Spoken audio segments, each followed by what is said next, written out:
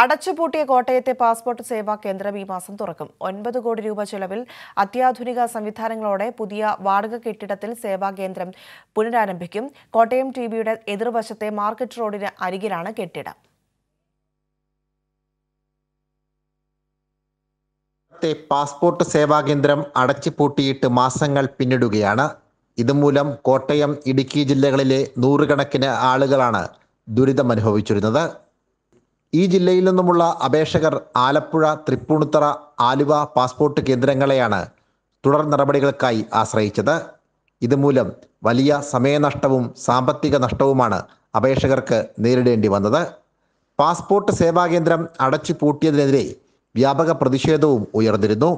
ഇതിനു പിന്നാലെയാണ് പുതിയ ഓഫീസ് തുറക്കാൻ നടപടിയായത്. ഒന്ന് കോട്ടയത്തും മറ്റൊന്ന് തൃപ്പൂണിത്തുറയിലായിരുന്നു ആ രണ്ട് പാസ്പോർട്ട് സേവാ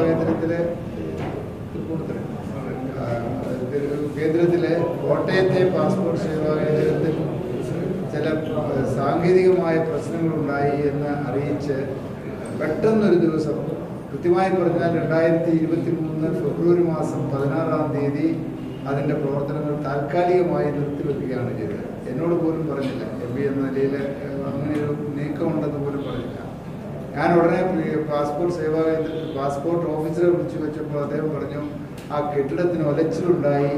അതുകൊണ്ട് ഒരു കാരണവശാലും അത് തുടരാൻ ഒക്കില്ല അതുകൊണ്ട് പെട്ടെന്ന് ഒരു തീരുമാനം എടുക്കേണ്ടി വന്നു. സുരക്ഷയെ കരുതി മാറ്റി മാത്രം ചെയ്തതാണ് എന്ന് പറഞ്ഞു. ഞാൻ പിറ്റേ ദിവസം ചീഫ് പാസ്പോർട്ട് ഓഫീസറെ പോയി ഡൽഹിയിൽ കണ്ട് അദ്ദേഹവും ഇത് തന്നെ പറഞ്ഞു. അതിനുശേഷം കേന്ദ്ര വിദേശകാര്യമന്ത്രിയെ നേരിട്ട് കണ്ടു. അതുപോലെ തന്നെ പാർലമെന്റിൽ രണ്ട് പ്രാവശ്യം ഞാൻ സബ്മിഷൻ അവതരിപ്പിച്ചു. ഈ പാസ്പോർട്ട് സേവാ കേന്ദ്രം മൂന്ന് സ്ഥലങ്ങളിലേക്കാണ് ആപ്ലിക്കേഷനുകൾ അയച്ചുകൊണ്ടിരുന്നത്. പുതിയ കേന്ദ്രത്തിൽ വാഹന പാർക്കിങ്ങിന് സംവിധാനമുണ്ടാവും. അതിവേഗ ഇന്റർനെറ്റ് സംവിധാനവും ഒരുക്കും. ചെന്നൈയിൽ നിന്നുമുള്ള കമ്പനിക്കാണ് ഓഫീസ് നവീകരണ ചുമതല. എമിഗ്രേഷന്റെയും ടി സി എസിന്റെയും ഉയർന്ന ഉദ്യോഗസ്ഥർ പുതിയ കെട്ടിടം സന്ദർശിച്ചിരുന്നു. സനോ സുരേന്ദ്രൻ കൈരളി ന്യൂസ് കോട്ടയം.